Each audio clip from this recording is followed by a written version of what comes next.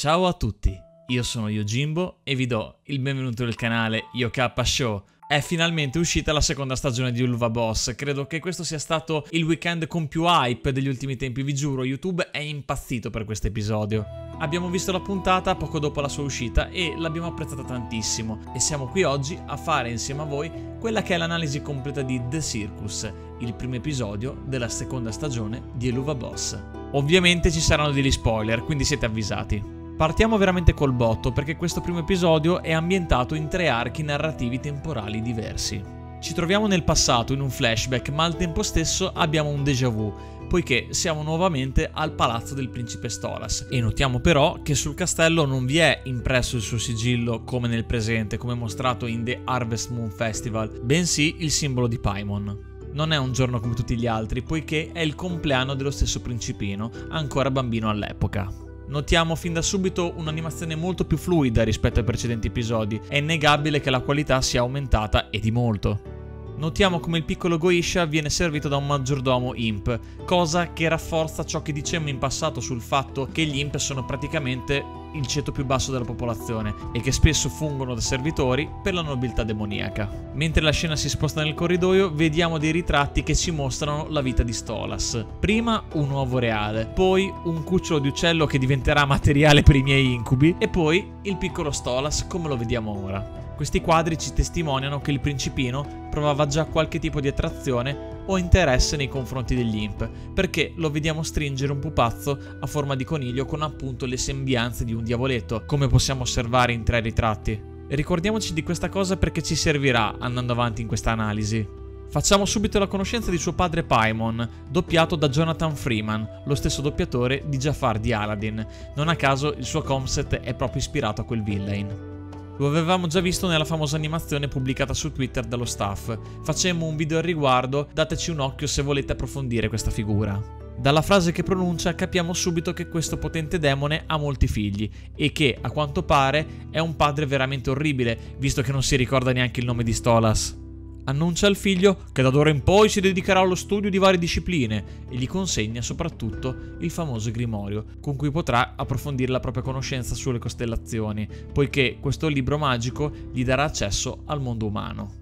Tra parentesi, bellissimo il design di Paimon e soprattutto quest'aura in bianco e nero che ha la sua magia, anche quando consegna il grimorio al figlio. Vi dirò, sembra quasi che l'abbia materializzato da una dimensione da un tempo diverso, davvero molto particolare. Oltre ciò, il demone annuncia al piccolo gufo che il suo destino è quello di espandere la famiglia Goisha e quindi, come membro di tale casata, sposerà obbligatoriamente, come già deciso, Stella, un'altra rampolla della nobiltà demoniaca, che a giudicare dalla foto in cui strozza due cani sembra essere particolarmente sadica fin da bambina.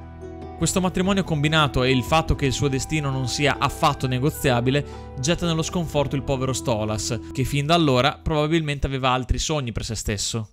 Suo padre, per tirarlo un po' su, lo fa portare al circo. Tra l'altro notare come lui non lo accompagna fisicamente, ma presenze da uno specchio magico portato da un servitore. Veramente papà dell'anno, ragazzi. Al circo vediamo Blitz e Fizzaroli da bambini esibirsi in coppia come clown nello spettacolo circense.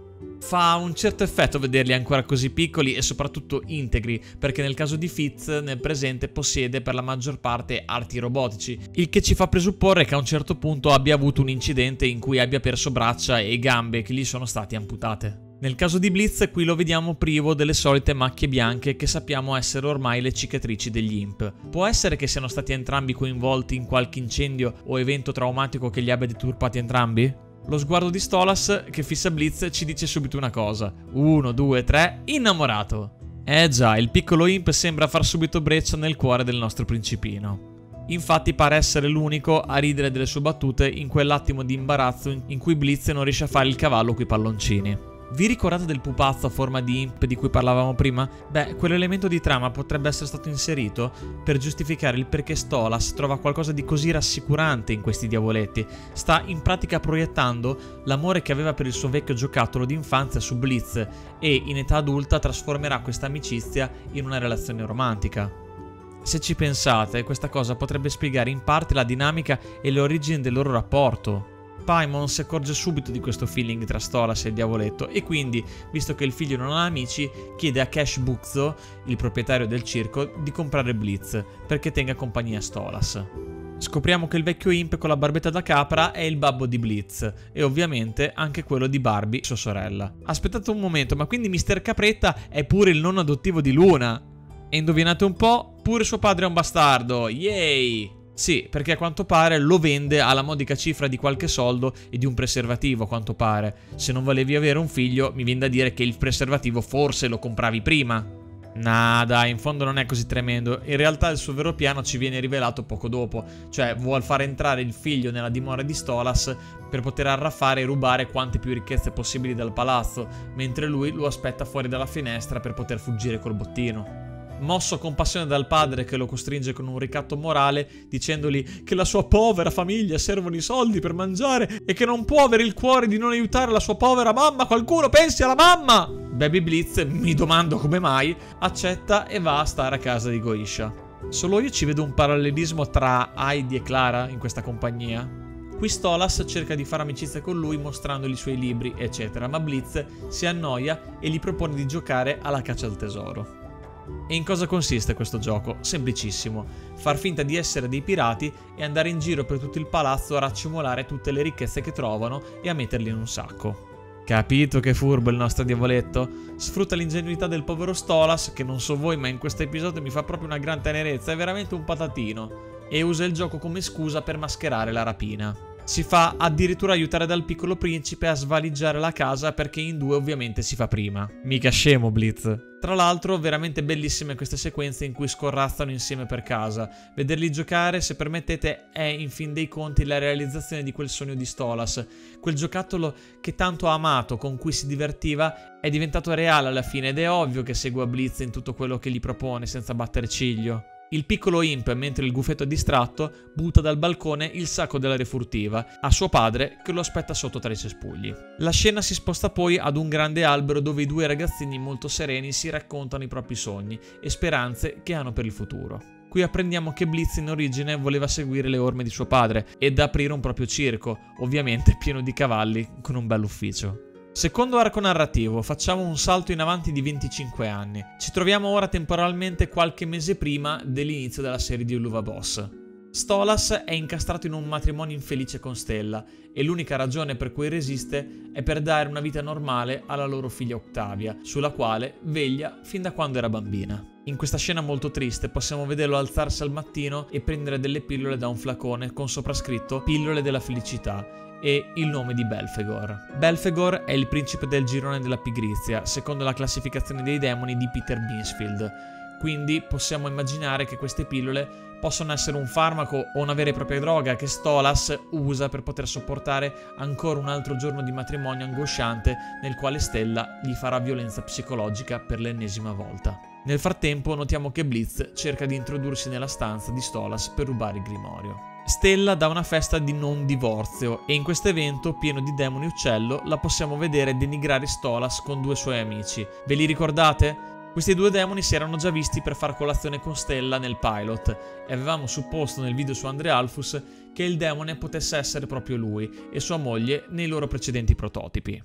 Oggi però sappiamo che non è così perché questi due personaggi sono nuovamente tornati e ora siamo consapevoli che sono due figure completamente separate da Andre Alphus. Tornando a noi, Blitz viene fermato da due segugi infernali, agli ordini di Stolas, che, ancora legato a lui dopo tutti questi anni, lo fa portare nelle sue regali stanze. Qui inizia il fraintendimento. Il principe si ricorda benissimo dell'imp e pensa che Blitz sia lì per lui, mentre il diavoletto vuole rubare il suo grimorio senza il quale non può avviare il business della IMP, poiché gli serve per andare sulla Terra.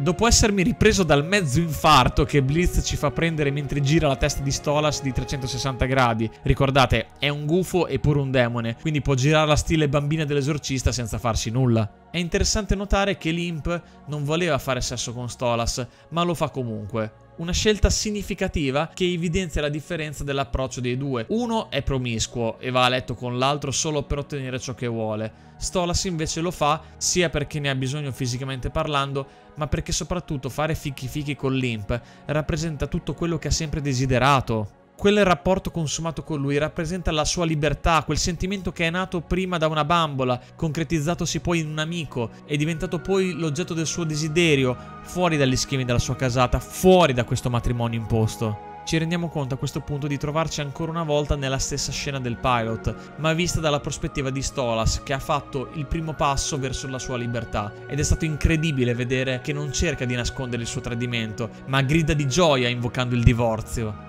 Terzo salto temporale, siamo tornati al presente circa un anno dopo e vediamo il nostro principe tragugiare un'altra bella manciata di pillole. La storia riprende da dove l'avevamo lasciata alla fine dell'episodio 7, quella maledetta sera in cui Stolas e Blitz hanno discusso.